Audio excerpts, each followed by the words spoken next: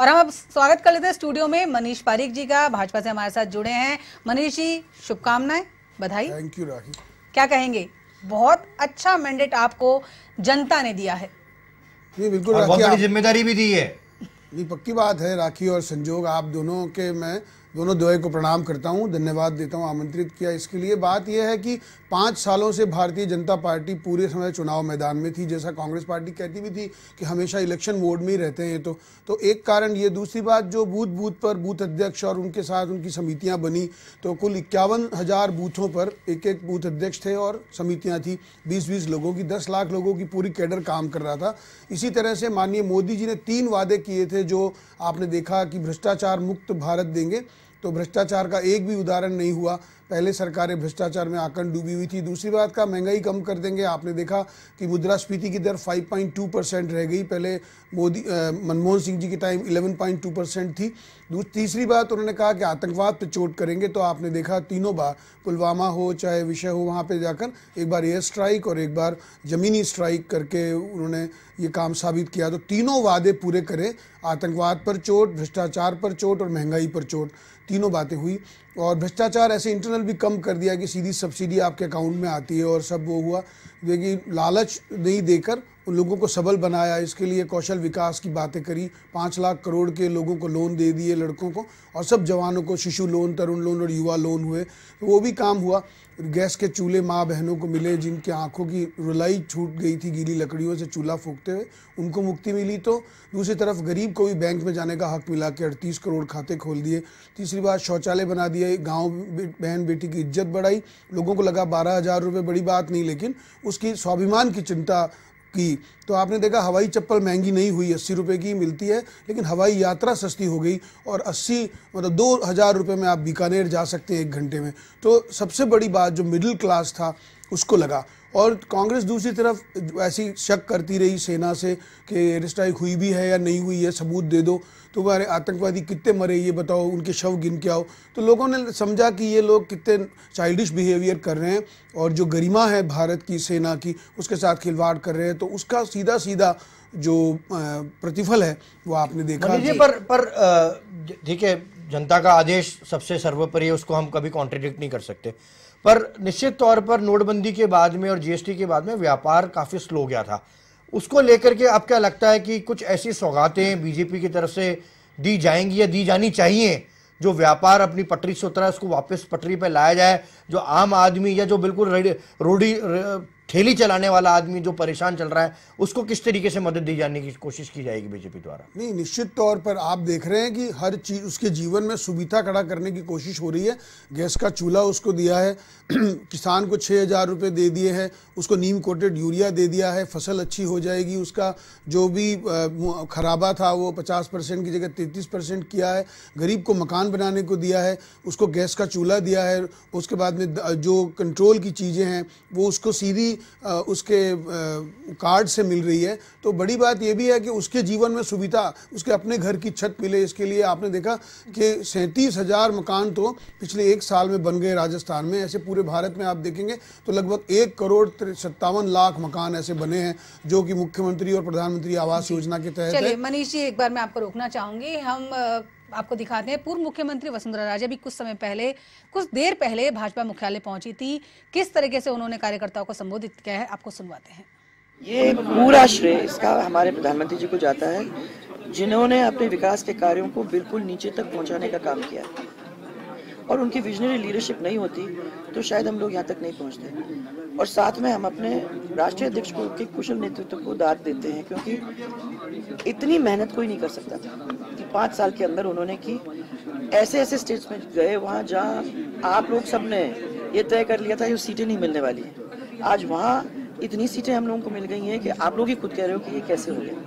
ये उनकी मेहनत का काम और इन सब लोगों ने जिस तरीके से हमारे कार्यकर्ताओं को उसके साथ हमारे स्टेट यूनिट उसके साथ सब लोगों ने जिस तरीके से जुट के काम किया और एक आवाज़ में चुनाव लड़ा उसका नतीजा आपको देखने को मिल रहा जी संयोग अगर हम देखें तो 345 पर एनडीए इसमें बढ़त बनाए हुए है। यूपीए 100 के आंकड़े पे भी नहीं जा रही तौर पर ये एग्जिट पोल का भी लिफाफा फट करके बाहर आ गया है। तो एग्जिट। पोल ने भी किसी भी चैनल ने भी किसी भी अखबार ने किसी भी सर्वे एजेंसी ने इतना बड़ा प्रचंड बहुमत भारतीय जनता पार्टी कहे या एनडीए को नहीं दिया।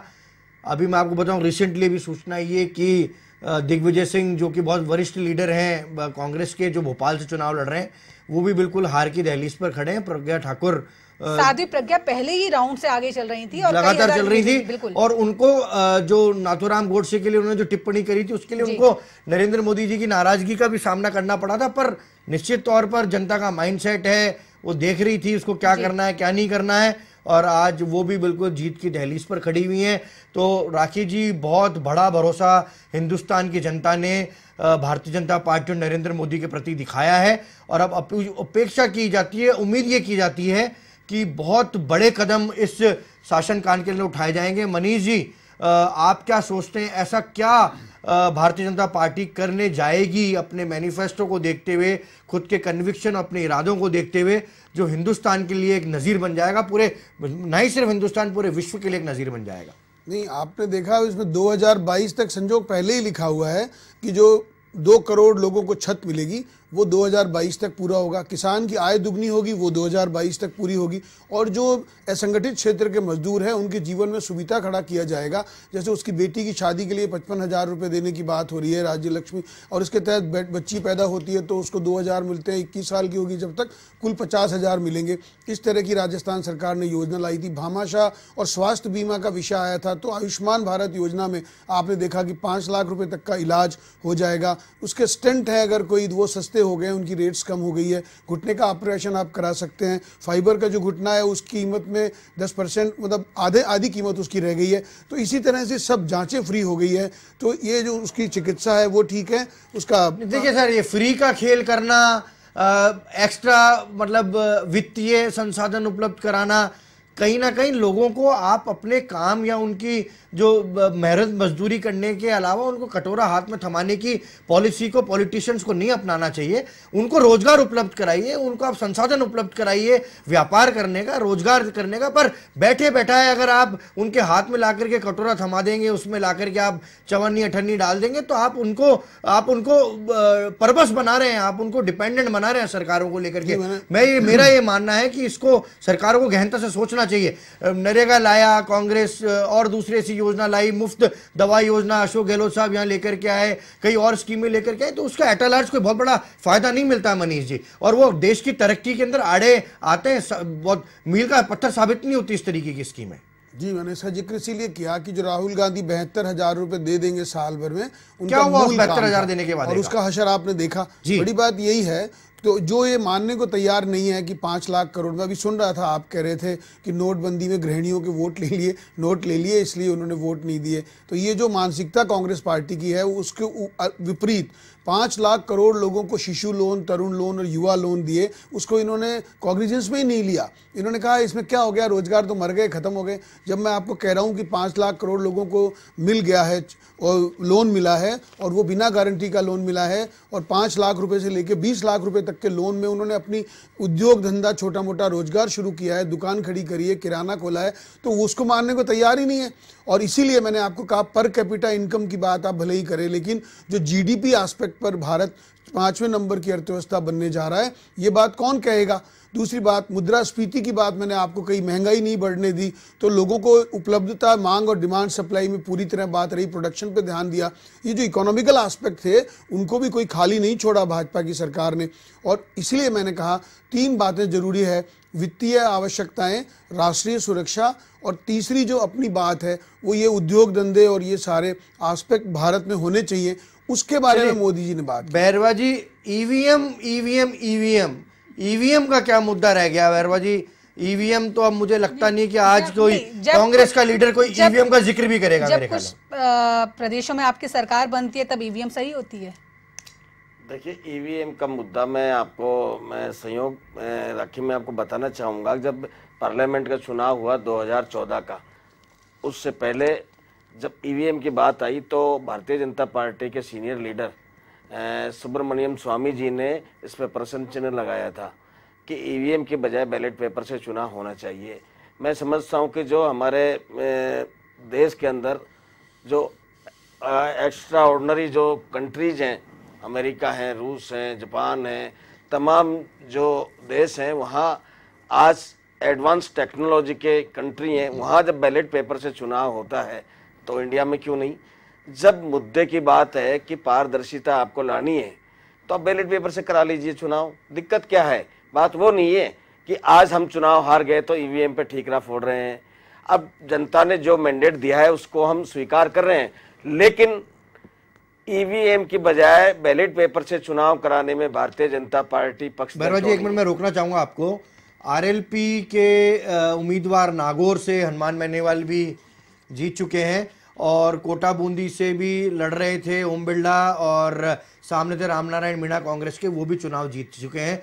तो मेरा कहने का आपको मकसद ये है कि जो रुझान आ रहे थे मनीष जी सुबह से, वो रुझान लगातार वही चल रहे हैं। उसके अंदर कोई बहुत बड़ा आमूलचूल परिवर्तन देखने को नहीं मिला। 25 सीटें, अब लगता है कि 25 की 25 सीटें हाथ से कांग्रेस के चली जाएँगी राजस्थान से। राखी जी मैं एक बार बताना चाहूँगा कि हमने नागौर का चुनाव भी बहुत बारीकी से कवर बिल्कुल, किया आरएलपी के उम्मीदवार हनुमान बेनीवाल थे। लास्ट मोमेंट के ऊपर उनका संबंध बीजेपी से हुआ और वो ऊपर उम्मीदवार पहले कांग्रेस में जाने की बात चल रही थी। फिर वो बीजेपी से उनका अलायंस हो गया और चुनाव लड़े। ज्योति मिर्दा ने नो डाउट बहुत अच्छा चुनाव लड़ा। ज्योति मिर्दा मिर्दा परिवार की नाथुराम मिर्दा की जो कांग्रेस जो दो चार सीटें मान रही थी नागौर बड़ी सीट थी। जहाँ पर उम्मीद थी बिल्कुल की हाँ कि कांग्रेस की ये सीट आ सकती है। पर आज निश्चित तौर पर ये बहुत बड़ा आपको मैं बताना चाहूँगा मनी जी भी मेरी बात से इतफाक रखेंगे और राजेंद्र जी भी रखेंगे। इमरजेंसी के बाद में जब चुनाव हुआ और कांग्रेस को बहुत बड़ी हार का सामना करना पड़ा तो नागौर ही एक ऐसी सीट थी नॉर्थ इंडिया से जो नाथुराम मिर्दा यहाँ से जीत करके गए थे संसद के अंदर और उन्होंने वहाँ पर कांग्रेस का परचम फहराया था। तो आज इस दौर के अंदर नागौर की सीट कांग्रेस के हाथ से निकल जाना एक परंपरागत सीट को लूज कर देना है जिससे कांग्रेस को बड़ी गहनता से सोचना पड़ेगा। मनीष जी क्या कहते हैं आप? नहीं, वो तो आपने देखा ही, पिछली बार सी आर चौधरी साहब वहाँ पे सांसद थे। बड़ी बात है, यही ज्योति मिर्दा जी चुनाव लड़ रही थी, लेकिन पिछले पाँच सालों में आप विदेश में रही, जब सांसद नहीं थी, और अगर थी तो भी, दिल्ली में अपने ससुराल में रही। तो अल्टीमेटली नागौर के आस्पेक्ट पर कोई विजन उनका नहीं था। केवल ये कि राहुल गांधी, राजीव गांधी चुनाव जीतेंगे तो जीत जाएँगे, और राहुल गांधी हारेंगे तो हार जाएँगे, इसके सिवा आप कोई ज़्यादा बात नहीं रही है। लेकिन सी आर चौधरी जी का टिकट क्यों काटा गया? सी आर चौधरी जी तो सिटिंग मेंबर ऑफ़ पार्लियामेंट थे।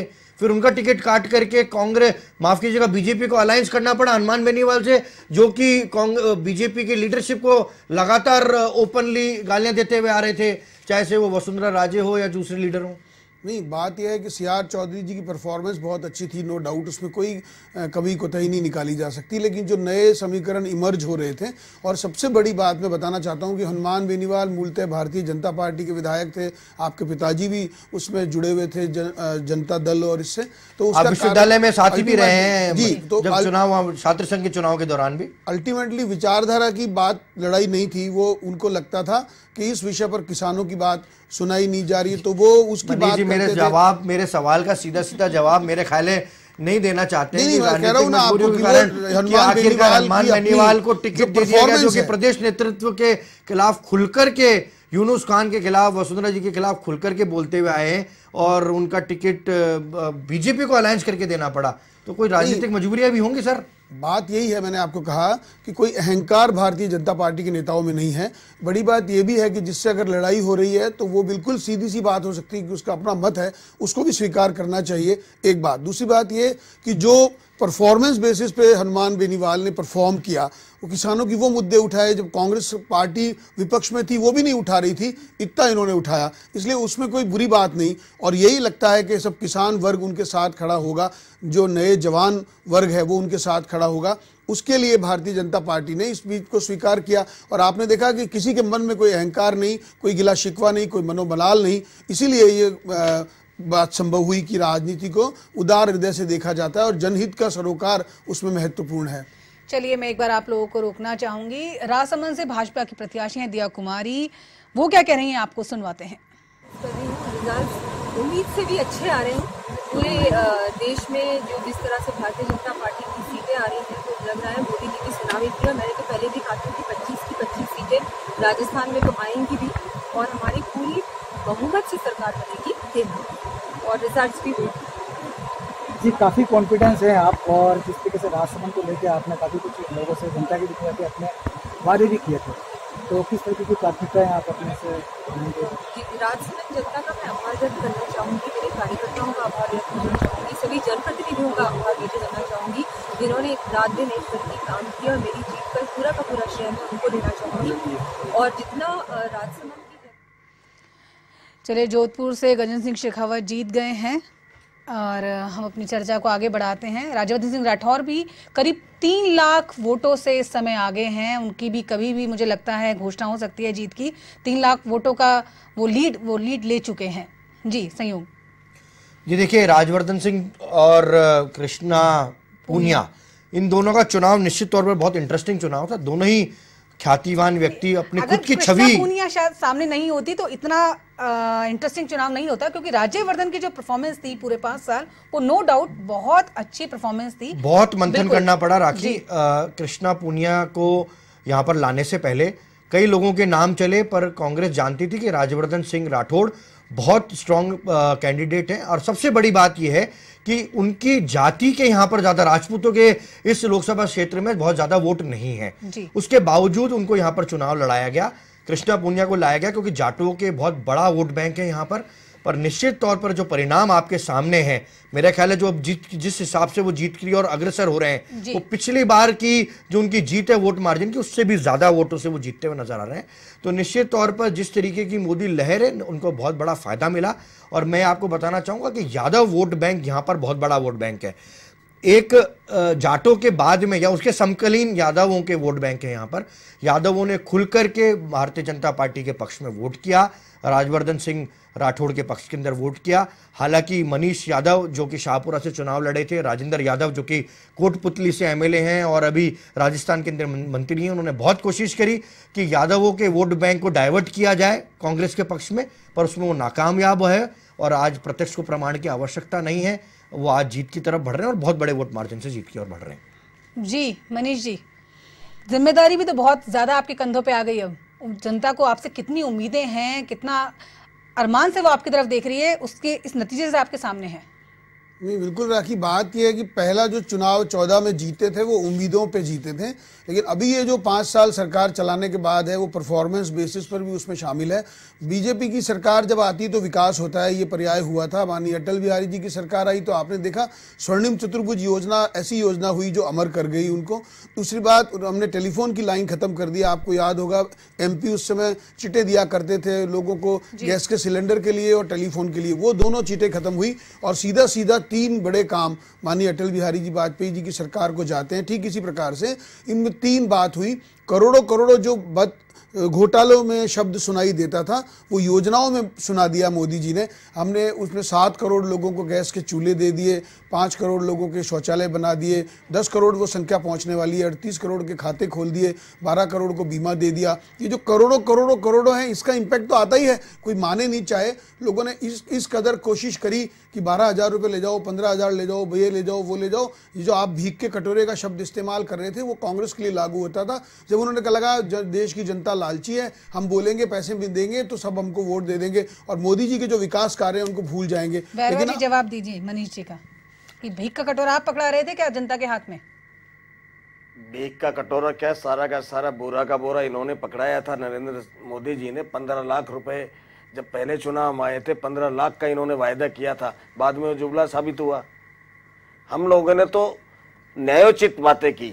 और न्यायोचित बातें करने के साथ साथ ठीक है, आज का युग, आज का माहौल, आज आज का इस तरह का जो पूरा देश में वेव है, जो भारतीय जनता पार्टी ने अपने, चाहे पिछले कार्यकाल में या अभी वर्तमान में इन्होंने अपना जो भी परफॉर्मेंस दिखा करके मैंडेट हासिल किया है देश की जनता से, शायद देश की जनता को यही मंजूर है तो ठीक है, हम इसी बात को भारतीय जनता पार्टी के साथी हमारे मनीष जी पारिक साहब से मैं तो इनको बधाई देना चाहता हूँ कि देश के अंदर नरेंद्र मोदी जी भय का वातावरण खत्म करें सबसे पहले, सत्ता में बैठने के साथ साथ जो पूरे देश भर में दलितों के साथ उत्पीड़न हुआ, चाहे वो ऊना कांड हुआ, चाहे और दूसरे कई कांड हुए, इस तरह की जो तस्वीर इस देश के अंदर सामने नहीं आनी चाहिए। हम तो इनसे उम्मीद करते हैं कि देश की जनता के अंदर भय का वातावरण नहीं रहना चाहिए। सबसे पहले लॉ एंड ऑर्डर मेंटेन चल राजेंद्र जी एक बार थोड़ा सा मूड को हल्का करते हैं। मनीष जी राखी जी। अब आप देखिए राजस्थान की विधानसभा के दो सदस्य फिर कम हो गए हैं। खीचड़ नरेंद्र खीचड़ झुंझुनू से जो जीते हैं। जी। जीत रहे हैं या जीत जाएँगे वो भी जीत की कगार पे हैं। वो भी वर्तमान में एमएलए हैं। और हनुमान बेनीवाल वो भी अब सांसद बन गए हैं वो भी हो गए। तो राजस्थान की विधानसभा के लिए कहते हैं कि 200 का आंकड़ा कभी भी पूरा का पूरा एक साथ नहीं हो पाता है। तो देख लीजिए वापस ये हो रहा है कि दो सांसद अब और कम हो जाएँगे इसमें से। क्या? जी। आप आप माफ़ कीजिएगा विधायक कम हो जाएँगे इसमें से। मनीष जी क्या वाकई में देश में भय का माहौल है? बैरवा जी कह रहे हैं। नहीं नहीं बात ये नहीं है बल्कि उल्टा कह रहे हैं। मुझे नहीं कहना था लेकिन आप कहिए कि पंद्रह दिनों में पंद्रह रेप के मुकदमे हो जाए। आप कहे कि बयाना में एक उसको हो जाए। अरे सेंट्रल क्या करेगी? स्टेट पुलिस क्या करेगी? दलित लड़की के साथ में दो दिन रिपोर्ट ही दर्ज नहीं करी तो इन्होंने। सबसे बड़ी बात है अगर उसके तो साथ दुर्घटना होती है तो हो जाए। तत्काल का के दो दिन तो कह दिए चुनाव है बाद में आना। और वो लोग बाद में आने के नाम पे माननीय मोदी जी ने इसका उल्लेख किया इससे बड़ी बात कोई हो नहीं सकती। आपके एसपी को बात पता है और एसपी को पता है तो मुख्यमंत्री को पता है और उसके बाद आप दो दिन तक रिपोर्ट दर्ज नहीं करते हो इससे बुरी बात कोई नहीं होती और उसी दौरान उसका वायरल हो जाता है वीडियो जिसके कारण वो सम्मान की ज़िंदगी नहीं जी सकती। वो बदनाम हो गई केवल पुलिस के कारण बदनाम हुई। बयाना में इस तरह का रेप हो गया विकलांग लड़की के साथ में। इसी तरह से आप देखिए माचिस लेने गई थी मकराना में उस बच्ची के साथ रेप हो गया। कुल मिला के पंद्रह अरे आपने करी आपने आपने करी आप ज़िम्मेदारी मत लो और उसके बाद ये कहने लग जाओ भय का वातावरण हो रहा है। ये जातिवाद के मुँह पे तमाचा मारा है जनता ने देखा आपने राष्ट्रवाद को स्वीकार किया इन्हीं लक्षणों से किया है कि आप केवल बातें करते रहे लोगों को गोलियाँ बांटते रहे लोगों को ये कहते रहे जातिवाद के नाम पे आपने टिकट सारे जातिवाद के नाम पे दिए हैं। राज्यवर्धन सिंह जी की जाति के कितने लोग जयपुर ग्रामीण में है लेकिन आप जाट को उम्मीदवार लेकर आए क्योंकि जाट के ज़्यादा वोट है हर जगह पे जाते आपने आपने सैनी को टिकट दिया आपने आपने मीणा को टिकट दिया जहाँ पे जनरल सीट थी वहाँ पे। आपने किया जातिवाद के नाम पे सारा काम और इसी जातिवाद के मुँह पे तमाचा है। आपको उन्होंने पड़ेगा। जितने दलित उत्पीड़न के मुद्दे आपके राज में हुए किसी के राज में नहीं हुए और उसके बाद उल्टा चोर कोतवाल को डांटे। अगर मुख्यमंत्री जी को इस्तीफा मांग रहा है पूरा एक मिनट बीच में मैं रोकना चाहूँगा। एक हिंदुस्तान की एक हॉट सीट और बनी हुई थी बेगूसराय।